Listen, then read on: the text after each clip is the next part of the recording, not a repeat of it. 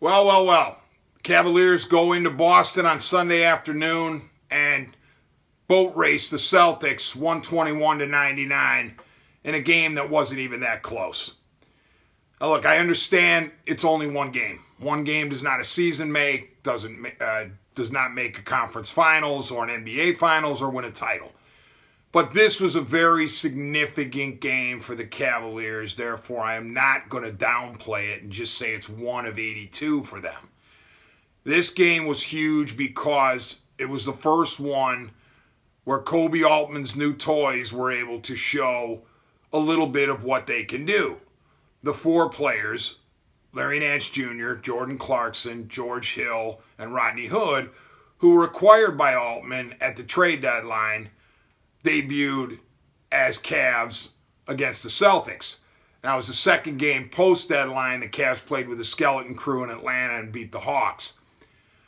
But what you saw on national television, by the way, which never hurts, was a Cavaliers team that had youth, enthusiasm. Oh, by the way, had the King, who didn't have to be superhuman in order for the Cavs to win big. But they had youth, enthusiasm, uh, Cedi Osman, LeBron James. They're running the floor, they're guarding people, uh, they're having fun.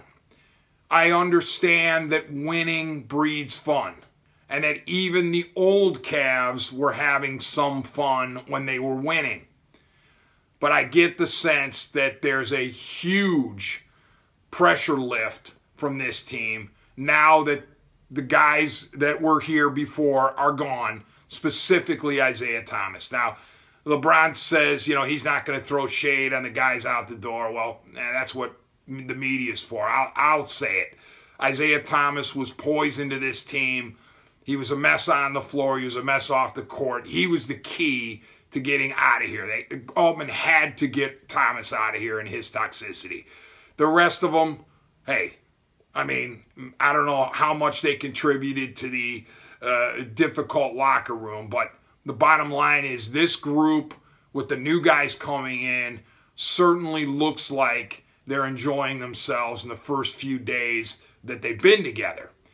And I'll tell you what, I know that, you know, game balls are not the thing in the NBA, certainly not in the regular season, but if I were the Cavs and there was a game ball to be given out uh, today, it would be to Koby Altman for the fact that he pulled off the trades that brought in the four new guys, and he did it basically without any assets. That's one of the most incredible things. I mean, the only asset he had was LeBron James, and LeBron James was unavailable, and yet Altman was able to bring in four guys who look like they're going to fit. And and the thing was, the Cavs uh, Celtics game, Cavs were basically freelancing. They hadn't even installed anything. So it's an exciting time to be a Cavs fan, whereas just a few days ago, it was an incredibly difficult time to be a Cavs fan. And if the Cavs had stayed pat at the or stood pat at the deadline, this would have been a slow march to LeBron's exit in the summer. Instead, you look at a different scenario, and the, the you know LeBron certainly looked uh, excited and happy with what is happening around him. So it remains to be seen what LeBron does, but at least the beginning of this new chapter uh, in the Cavs LeBron history was a smashing success.